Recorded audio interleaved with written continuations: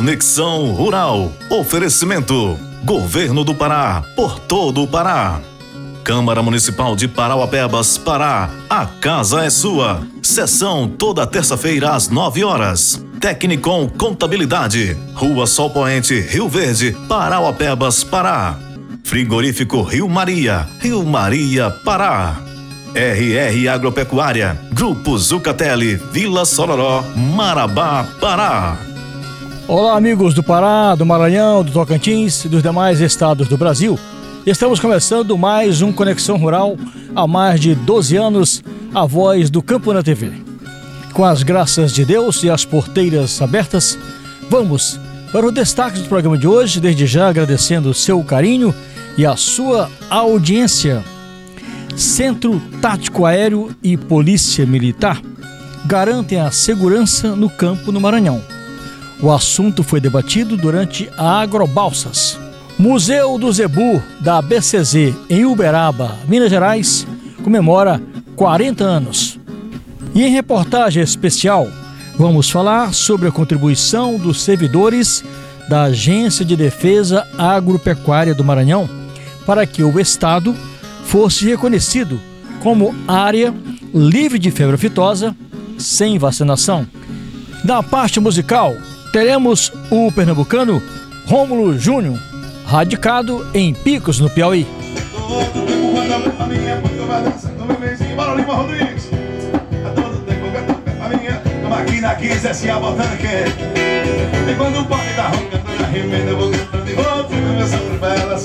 Tudo isso e muito mais aqui no Conexão Rural, que está apenas começando.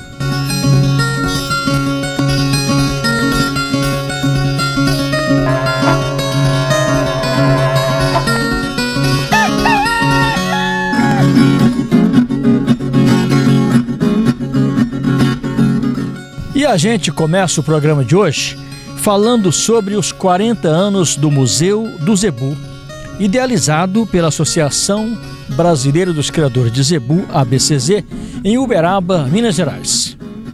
Durante a Expo Zebu, realizada em Uberaba de 27 de abril a 5 de maio deste ano, o público pôde conhecer mais detalhes da história do Zebu visitando no Museu do Zebu a 39ª Mostra do Zebu, nós estivemos lá em Uberaba a convite da ABCZ. Confira. Antes de falarmos sobre o Museu do Zebu, conheça um pouco da história do zebu no Brasil, a importância de sua genética e a qualidade da carne brasileira. Neste vídeo, produzido pela assessoria de imprensa da Associação Brasileira dos Criadores de Zebu, ABCZ. O zebu chegou ao Brasil há mais de 100 anos e logo conquistou seu lugar na pecuária brasileira. Com fácil adaptação ao nosso clima, deu origem a diferentes raças: Brahman, Gir, Gir leiteiro, Guzerá, Indo-Brasil, Nelore, Nelore mocho, Sindi e Tabapuã que estão presentes em todas as regiões do país. Sua criação envolve mais de 23 mil associados da ABCZ, Associação Brasileira dos Criadores de Zebu, gerando milhares de empregos. Em fazendas que preservam o meio ambiente e mantêm um sistema de pastagem adequado, os animais são criados soltos, alimentando-se basicamente de capim. Essa característica, aliada à precocidade, à genética, ao manejo correto e à sanidade, além dos cuidados com o bem-estar animal, produz uma carne de qualidade superior, com gordura na medida certa, saborosa e nutritiva que alimenta e traz saúde para as famílias brasileiras, para as famílias do Brasil e do mundo de forma sustentável. É daí que vem a nossa carne, que está presente nos supermercados, açougues, restaurantes, na nossa mesa, nos churrascos e momentos mais felizes. Carne de zebu, naturalmente saudável está na mesa do Brasil. E agora que você conheceu um pouco da história do Zebu, vamos falar sobre o Museu do Zebu com informações da assessoria de imprensa da ABCZ. O Museu do Zebu, Edilson Martini Mendes, pessoa jurídica de direito privado, tem como mantenedora a Associação Brasileira dos Criadores de Zebu, ABCZ. A organização dessa instituição se iniciou em 19 de dezembro de 1983, através da assinatura de um convênio entre a BCZ com as então Faculdades Integradas de Uberaba, FIUB, hoje Universidade de Uberaba, UNIUB. Faculdade de Agronomia e Zootecnia de Uberaba, hoje Faculdades Associadas de Uberaba, FASU. E a Fundação Cultural de Uberaba, FCU. Em 1984, durante a 50 Expo Zebu, o Museu do Zebu foi aberto ao público no dia 2 de maio, com o lançamento de sua primeira mostra. O nome escolhido para a instituição, Edilson Lamartine Mendes, foi uma maneira de homenagear esse importante criador e ex-presidente daquela que seria a antecessora da BCZ, a antiga Sociedade Rural do Triângulo Mineiro. O acervo do Museu do Zebu foi iniciado em 1984, durante a 50 Expo Zebu, com o lançamento da primeira mostra do Museu do Zebu, com o objetivo de tornar-se uma atração educativa e cultural sobre a pecuária zebuína. O acervo do Museu do Zebu é composto por peças expositivas e pelo Museu do Zebu Virtual. Com o acervo, é possível realizar atividades de ensino e ou extensão, com a montagem de exposições didáticas, atendimentos às escolas públicas e privadas, promoção de seminários, palestras e cursos centrados na área das ciências agrárias. As peças do museu possuem sua própria historicidade e podem revelar dados de interessantes acontecimentos como forma de envolver e dar a conhecer a história do zebu no Brasil. Anualmente, durante a Expo Zebu, esse patrimônio é exposto de acordo com o tema de cada mostra que é pensada, elaborada e demonstrada ao público com ações educacionais, culturais e sociais, de maneira dinâmica e lúdica. O programa Zebu na Escola leva ao público estudantil informações sobre a trajetória das raças zebuínas, a evolução tecnológica e a importância econômica do zebu no cenário mundial. No dia 26 de abril, durante a 59ª Expo Zebu neste ano, foi inaugurada a 39ª Mostra do Museu do Zebu. A exposição destacou a trajetória das raças zebuínas, avanços e expansão no mundo, o trabalho de melhoramento genético e a seleção dos zebânios, que proporciona uma pecuária cada vez mais produtiva, rentável e sustentável.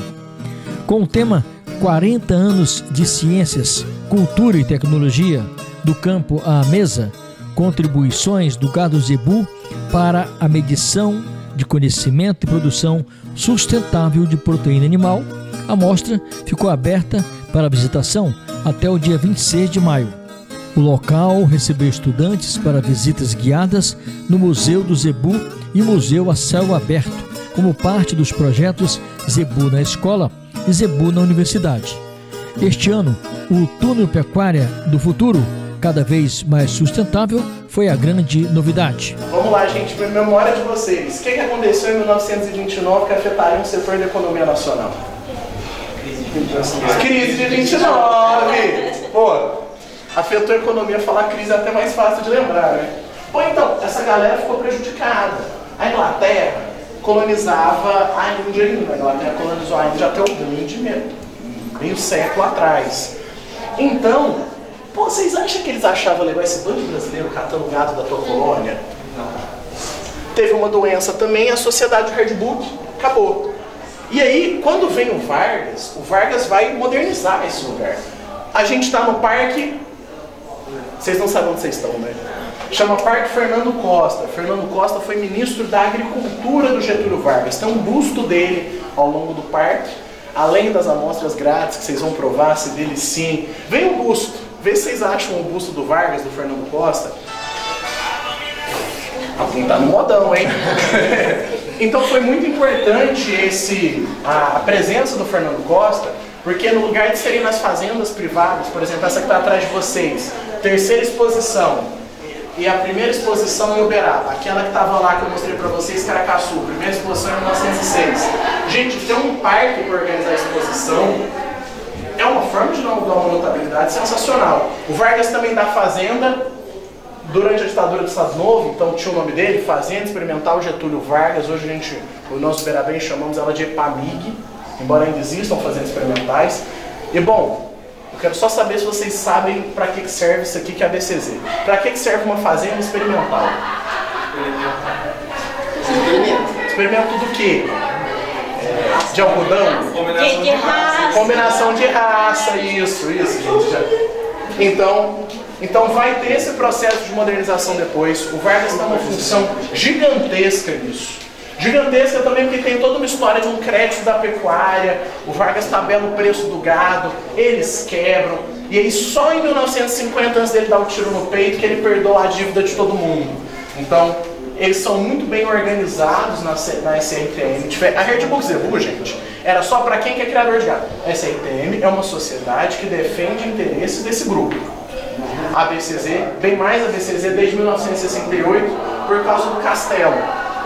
Castelo, vocês sabem quem que é. A diretora do Museu do Zebua é a terceira vice-presidente da ABCZ, Ana Cláudia Mendes Souza. Ela disse que o museu tem um papel muito importante de manter a história dos pioneiros da raça zebuína no Brasil. O museu tem um papel muito importante que é trazer a história dos pioneiros. Esses pioneiros que saíram de Uberaba, que atravessaram aí, né, o, o mundo trazendo a pecuária indiana, né, o zebu indiano para o Brasil. E através desses animais que chegaram aqui há tantos anos, nós podemos, através do registro, fazer o nosso melhoramento genético. Então o museu ele traz essa história, contando todo o manejo, todas as famílias, as, ah, contemplando todas as raças zebuínas. Ah, junto com isso vem ah, como que foi feito esse, esse, essa comercialização. Então aqui a gente trata da economia, é, das, das cidades, do desenvolvimento e hoje a gente também chega numa atual, numa atual realidade que é a sustentabilidade. Então estamos falando já de um futuro, né? A importância da sustentabilidade. O museu vem trazendo um pouco do passado, do presente, o que nós estamos fazendo hoje e o que a gente espera, né, para as próximas gerações, como plantar e ensinar e trazer a cultura através do desenvolvimento pecuário do nosso zebu. As pessoas ouvidas pelo Conexão Rural parabenizaram a BCZ pela criação e manutenção do magnífico Museu do Zebu. O Museu do Zebu está localizado na Praça Vicentino Rodrigues da Cunha, 110, Bloco 1, Parque Fernando Costa, em Uberaba, Minas Gerais. Contato pelos telefones 34 3336 5214 ou 34 3319 3879. O e-mail museudozebu@abcz.org.br. E as visitações ao Museu do Zebu em Uberaba podem ser também guiadas. Destinam-se ao atendimento de grupos previamente agendados e caracterizam-se por oferecer uma acolhida personalizada aos visitantes. A seguir, vamos falar sobre a questão da segurança no campo no Maranhão. Aguarde.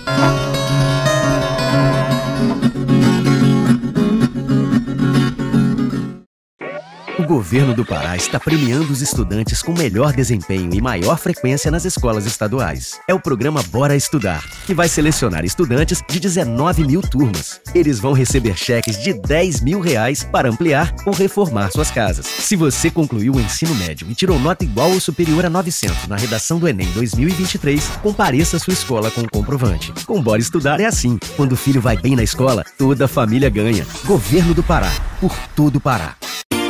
Amigo produtor rural, aproveite as condições especiais de financiamento dos tratores LS Tractor na Zucatelli Máquinas. Na Zucatelli você compra o seu trator LS Tractor com taxas de juros que cabem no seu bolso. Quer saber mais? Visite a Zucatelli Máquinas na BR 010, bairro Coco Grande, em Imperatriz, ou chame no WhatsApp 99 99157 3142. Tratores LS Tractor é na Zucatelli Máquinas.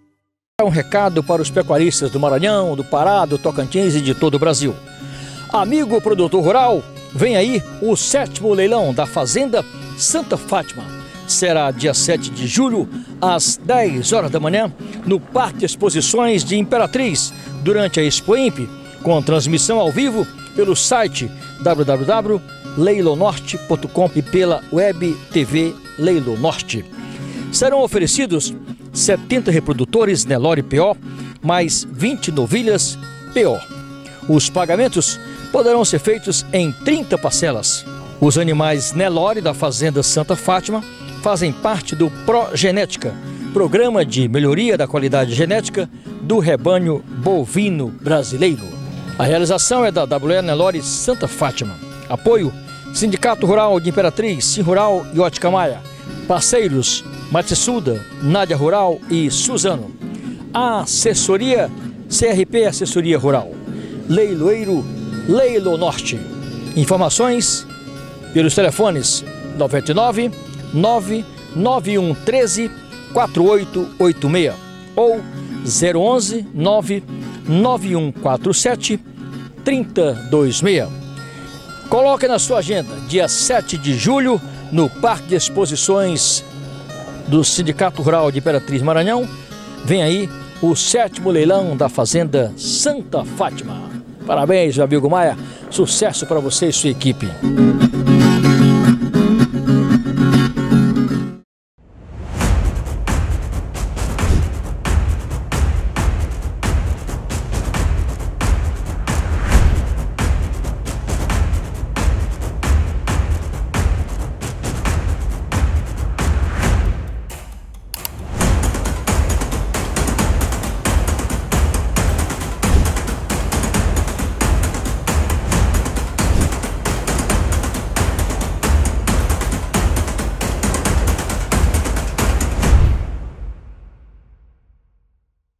Neste Junho Verde, o governo do Pará celebra grandes conquistas. Estamos avançando na defesa da floresta viva, recuperando como nunca as vegetações nativas, acelerando a transição para a bioeconomia, garantindo direitos para quem produz. Perto da COP30 em Belém, o Pará se fortalece no debate sobre clima e meio ambiente. É importante que todos abracem essa causa. Junho Verde, defender a floresta é proteger o futuro.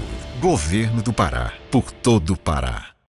Toda terça-feira tem sessão na Câmara de Parauapebas. A partir das 9 horas da manhã, a Casa de Leis está de portas abertas para você acompanhar de pertinho o trabalho do dia. E a gente transmite as sessões ao vivo. Para assistir pelo YouTube, basta buscar pelo canal Câmara de Parauapebas ou sintonize 95.7 FM e ouça tudo pela Rádio Câmara de onde você estiver. Câmara Municipal de Parauapebas. A casa é sua. Foi com uma imensa satisfação que a Tecnicom Contabilidade recebeu o Prêmio Destaque Empresarial 2021 como reconhecimento de melhor escritório de contabilidade. Esse prêmio representa o esforço da nossa equipe em garantir a você que tem empresa ou é prestador de serviço, segurança e liberdade para focar no que realmente importa para o negócio, crescimento e lucros. Este prêmio é de todos que confiam no nosso trabalho. Gratidão aos profissionais da Tecnicom. Em 2022, nós estamos aqui para descomplicar seus serviços de contabilidade.